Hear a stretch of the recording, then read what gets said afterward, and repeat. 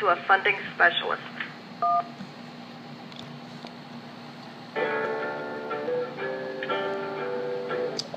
Good morning, this is Don with Merchant Funding Services. Who do I have the pleasure of speaking with? This is Larry. Hi, Larry. Are you the business owner? Sure am. And Larry, what we do is we provide uh, working capital, uh, line of credit, uh, cash advances to business owners in the event you ever need it. Uh, Larry, how long have you been in business? 13 years. 13 years, okay. And uh, I just got like two more questions to qualify you. What- The size of your business, what would you say uh, your company uh, bank deposits average per month? Uh, it's getting less and less. Um, monthly, uh, Sir, gross, yeah.